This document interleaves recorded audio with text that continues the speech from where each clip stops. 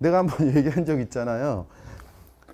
옥수동에서 내가 몇 번 얘기한 적 있는데 내가 차를 모는데 뒤에 덤프 트럭이 지 빨리 간다고 나보고 나가라는 거야. 야, 신호가 안 바뀌면 나보고 나가면 나하고 죽으라는 거야?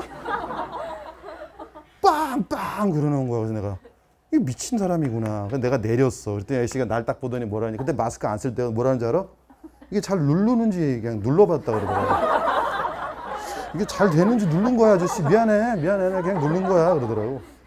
그래서 뭐야 이 새끼야 이랬더니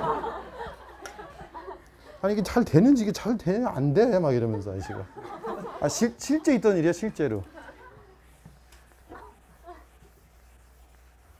부모님 감사합니다. 자.